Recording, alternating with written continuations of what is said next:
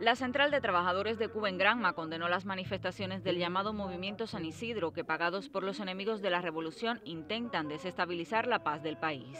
Ser consecuentes con el concepto de revolución que refrendamos es saber que nada ni nadie nos hará renunciar a nuestra independencia, a nuestras conquistas, a nuestro socialismo y a nuestra revolución con una tángana en la sede de la CETES en el territorio, a la que asistieron una representación de los sindicatos de la provincia, los jóvenes expresaron su compromiso con la obra de la revolución.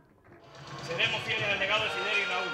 Defenderemos nuestra historia e identidad nacional. Rechazamos cualquier política injerencista en los asuntos internos de nuestro país.